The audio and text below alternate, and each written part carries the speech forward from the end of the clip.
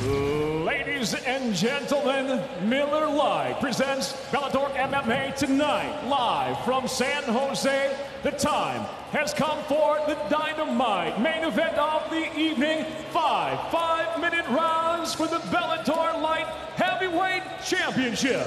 Sanctioned by the California State Athletic Commission, Commissioner John Carvelli, Chair, Executive Officer at Cage Side, Mr. Andy Foster. Tonight's world title fight is brought to you by Miller Lite, the original Light Pilsner. Cheers, it's Miller time. And now, introducing the challenger first out of the blue corner. At 6 foot 2, weighing in 204.6 pounds, the former world champion enters the Bellator cage with 18 professional victories, 11 defeats, and one draw. Fighting out of Huntington Beach, California, introducing the People's Champion, Tito Ortiz.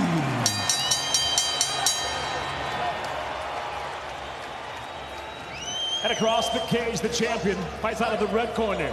At six foot six, he weighed in 204.8 pounds. Tonight, making his first title defense, he stands undefeated with 10 victories and no defeats.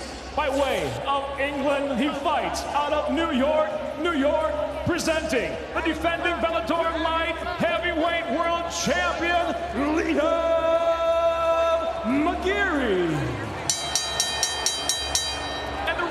Referee in charge of the world title fight, Big John McCarthy. I know the rules in the back. I want you to fight clean, to fight fair. Protect yourself at all times. Obey my commands at all times. If you want to touch gloves, touch them now. Best of luck to both of you. It is the 13th time John McCarthy has refereed a Tito Ortiz fight. Jimmy's Keys to Victory brought to you by Destiny, the Taken King Become Legend, available now.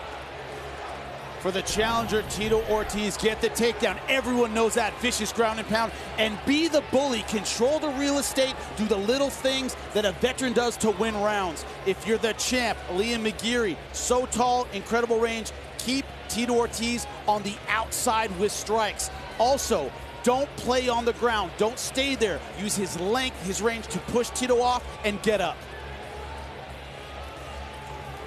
Right, here we go. You Waiting ready? for the words from John McCarthy. Tito!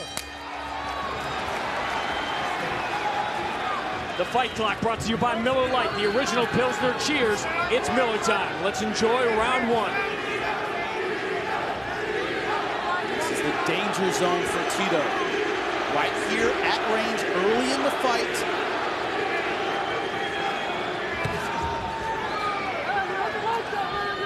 Throughout his career. The stereotype was when he gets hit, his game goes out the window. He, quote, doesn't like to get hit. No one should like to get hit, but it shouldn't change your game plan. I asked him the last time he felt this healthy. I couldn't finish the question before he said 2006. His first fight with Forrest Griffin. Last time he felt great. He feels great coming into this fight. Mentally as well, his life has changed so much for the better. He goes for the first takedown and he's stuffed by Liam McGeary, who grabs a guillotine. Arm in guillotine. His hands are not locked. Tito Ortiz keeping control of McGeary's left ankle. That's what we always wondered about Liam McGeary. Can he stay on the feet? We know he has a great submission game. But Tito Ortiz so hard to submit, hasn't been submitted since Guy Mezger. Him? Huge question. The rematch with Mezger was the t-shirt that changed the world.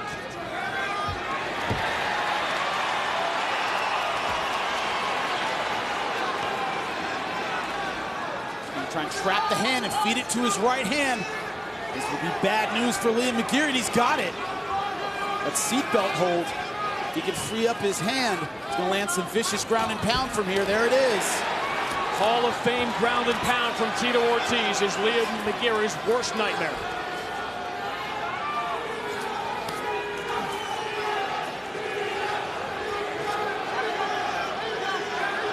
You think about the Randy Couture fight when Tito Ortiz was the young lion. The first time he learned about conserving your gas tank against Frank Shamrock in 1999. There are enough in that 40-year-old body to make all of those lessons learned pay off? Great position early on in this fight. I know from experience what Tito brings is crazy pressure. When he's on top, feels like a truck on top of you. Very strong. Oh, good left good, hand. Strong left hand.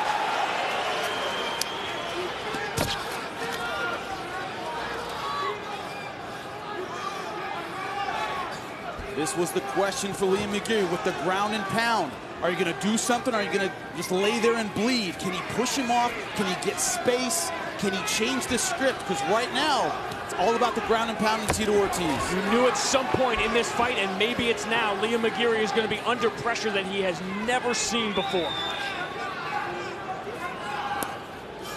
Undefeated in 10 fights. Only went the distance once. And that was in his world title win at the British Invasion over Emmanuel Newton. Tito, I talked about little veteran things, little tricky moves. That seatbelt going around the back, controlling the wrist, popular wrestling move. It's these kind of things that allow him to do damage in his world without expending a lot of energy. McGeary has pulled off some spectacular submissions from this spot, but not against athletes and fighters the caliber of Tito Ortiz. In omoplata position, over the triangle, can't get it. That's the problem with having long legs against the pressure of Tito Ortiz. Can't get extension. It's hard to pull a lot of those submissions off when he's crushing down on you, and that's what he's doing. Only twice in 18 years has Tito Ortiz been submitted. Crowd here in San Jose has made their choice. Let's go, let's work. Throwing up his legs, trying to get submissions going. He likes the inverted triangle. A lot of unorthodox submissions. Also looking for the arm. See, yeah, Tito's right arm. He might have it, and he doesn't. Yeah, Tito knew he had to get out of there quickly, and that first second from the escape of the submission is the most dangerous when you're on the bottom. Now inverted triangle. Got it! It's over! It's over! Liam McGeary has done it! Everything going Tito Ortiz's way, a mental mistake. And Liam McGeary finishes the legend on the ground. Heartbreaking ending for Tito Ortiz. A great performance by the champ. For four and a half minutes, it went exactly the way Tito Ortiz visualized it to go. Okay. You'll be unstoppable. Thanks, man. Good, I, I'll try my best. That's my best. How's my fucking best? I respect you, dude. You see, man, I've been in this for a long time. Liam McGeary was undefeated. He had the title. Now, Jimmy Smith, Liam McGeary is a champion. Here's the Blackheart Premium Spice Rum Replay, the bold 93 proof rum that's edgy to the core. Went from the arm, almost looked like a tap on the leg. Tito Ortiz very much in this fight. Look at the inverted triangle. So difficult to pull off, and he got it. Right off the escape. Look at it here. Clamping down on the head, locking his foot. A handful of guys in the world have the build and the jiu-jitsu to pull off this move. He gets it, and look at the speed of the tap. A guy like Tito Ortiz, who did not want to give up, had no choice. Great job by the champ, Liam McGeary. See the frustration on the face of Tito Ortiz. He wanted this so bad.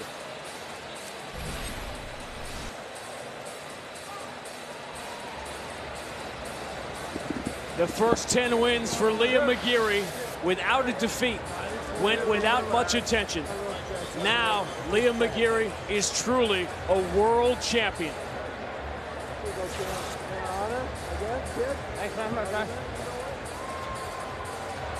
The official decision. Ladies and gentlemen, inside the Bellator cage, the tap comes by way of an inverted triangle official time. Four minutes, 41 seconds into round number one. The winner by submission and still Bellator Light Heavyweight World Champion, Liam McGeary.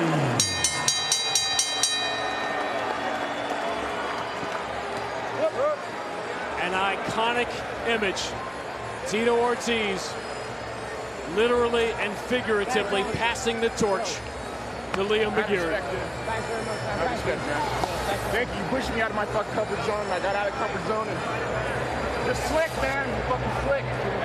Yeah. My first question for you, the champ, Liam McGeary. What did Tito say to you after he came up to you after that fight? So much emotion in that fight for both of you. He's got mad respect for me. Uh, okay, I welcome her wrestling. I'm going to be unstoppable. Tito, you just said you pushed me out of my comfort zone. What does that mean to you, man? I worked really hard for this camp. I gave my heart and soul for 18 and a half years in this cage and the other cage, but in this sport, of MMA. As I was a legend, or I am a legend, whatever people say, I'm a legend, whatever. Champ, you gotta beat the champ. He showed that he's a real man tonight. As I put that belt around your waist, you know, I'm pissed at my performance. I gave it, you had the best Tito Ortiz. This is the best I've felt since 2006. You had the best, you beat the best. That's why you're the world champ. And I thank you for pushing me the way I was pushed this camp. All the guys in my camp who pushed me as hard as much as, I mean, hard as possible. I gave it everything. People, I've been in this cage for 18 and a half years. There's not one athlete in almost any sport that's been doing as long as I have. I give my heart and soul to each and every one of you fans who watch me, no matter what. Through hard work and dedication, you can't achieve anything. I achieved the opportunity to get in this cage and fight against the best in the world. I came up short. My boy Jesse, Journey, Jacob, Dad didn't win tonight, but you know what? I think I won, won some hearts tonight, so. Back to the champ, Lee McGeary. Thank you so much, Tito. Your challenger, right here, the tournament champion, Phil Davis. I gotta ask, Phil, what'd you think of that performance? What do you think of taking on this champion, Liam McGeary? I thought he did great. I thought he did great. I, if I could say anything, just a little bit of criticism, you're going to need to do a little bit more if you think you're going to stop me from getting that belt. I'll do whatever it needs to be taken, man. I'll do whatever it takes. School wrestling, that's me straight back into it. The champ, Liam McGeary, will be taking on the challenger, Phil Davis. Give it up for him. The icon Tito Ortiz passes the torch, and you are looking not at the future, but the present of the light heavyweight division. The world champion Liam McGeary, the number one contender Phil Davis. Tito Ortiz helped take this sport from its darkest days to its highest peak, and he does it on a monstrous stage here tonight, leaving it for these two and a new generation. Dynamite 1, I promised you we would remember it forever. We will.